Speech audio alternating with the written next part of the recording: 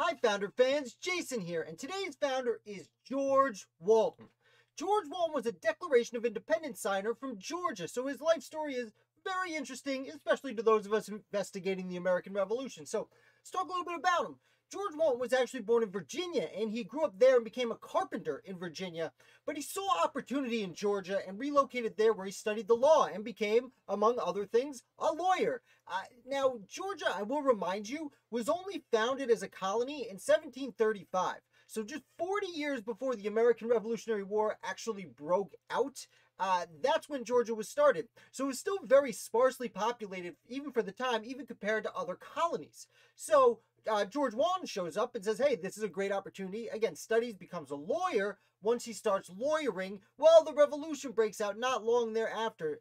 He's already become a leader of his community. And in fact, uh, Walton was appointed as an early president of the uh, uh, com- uh, Committee of Safety, which was in charge of the revolutionary militia at the time. And he was a very quickly a radical. Now, Georgia did not send any delegates to the First Continental Congress, and actually didn't immediately send anyone to the Second Continental Congress. Lyman Hall showed up for the second session of the Second Continental Congress, and he was sent by his county, but Georgia didn't actually choose anyone to go. That being said, uh, when Georgia finally gave in and did send a representative to the Continental Congress, George Walton was among the three men sent to Philadelphia to represent Georgia.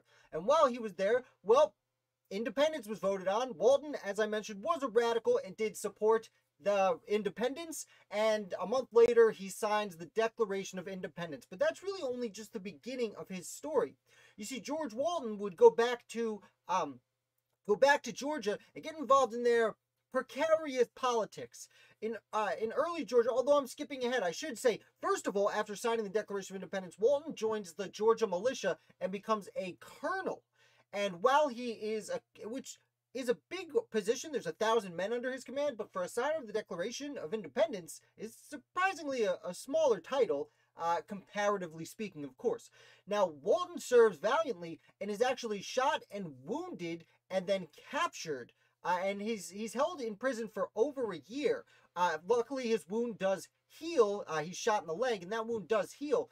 But very peculiarly, he was eventually traded back to the Americans in a, a prisoner exchange. But again, as a signer of the Declaration of Independence, he committed treason, and uh, it is very shocking that he was allowed to return to the Patriot side at all. Now, Walton does not rejoin the, the fight. He actually goes into Georgia's state politics. And state politics in Georgia is really fascinating. And I'm not going to get into all the minute uh, details right now. Suffice to say, there were two factions or parties broke out during the uh, 1779 into 1780 into 1781 in Georgia politics. There were the radicals and the conservatives. Now, the conservatives were, by this point, patriots because independence had been declared, but they were really wary about, you know, Britain invading Georgia and everything like that.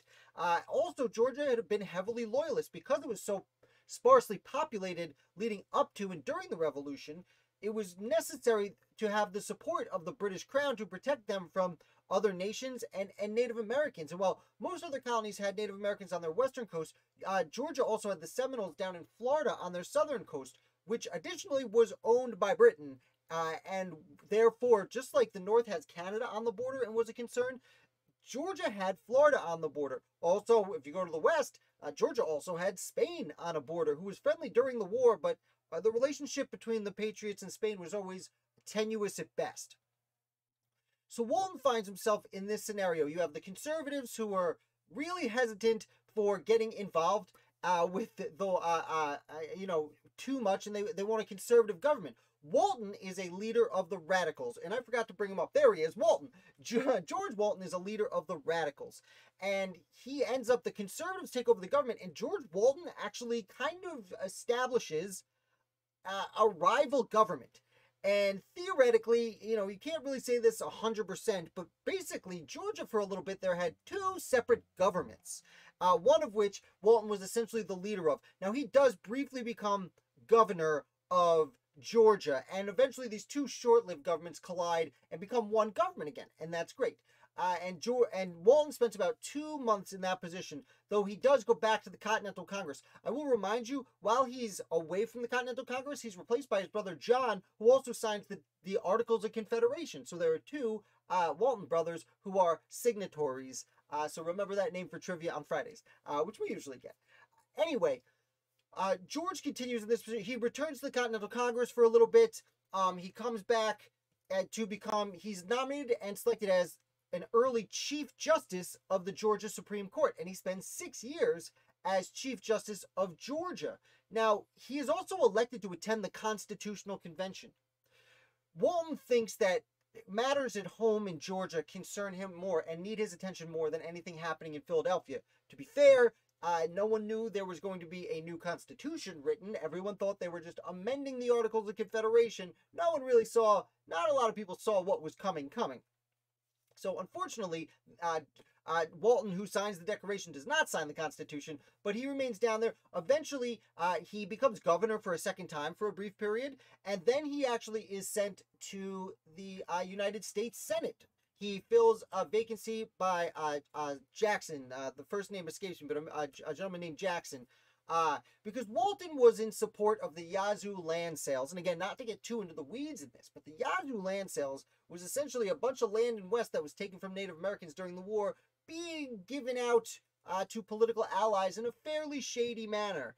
And uh, Walton was one of the people in support of this. Many people were, not to hate on his character too much, but uh, uh, um, Senator Jackson returned home and ran for governor. I think it, it's not Jesse. Was it Jesse? Uh, J- uh something. J U. Ah, the name's eluding me. Anyway, uh, Senator Jackson returns home and actually becomes governor of uh, Georgia. And in his replacement, when he resigned, was George Walton, who goes to replace the guy who's coming to stop what he did.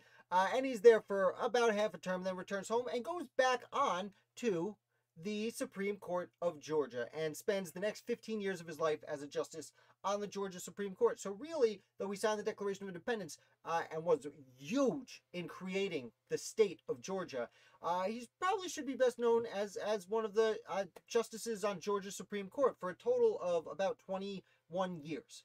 Uh, so, that is a brief overview of the life of George Walton, a signer of the Declaration of Independence. Uh, S, no worries. That's all right. I click the bell. YouTube doesn't want to tell you. YouTube doesn't tell you. I appreciate you coming when you can. Uh, trivia night this Friday. Uh, it happens every Friday.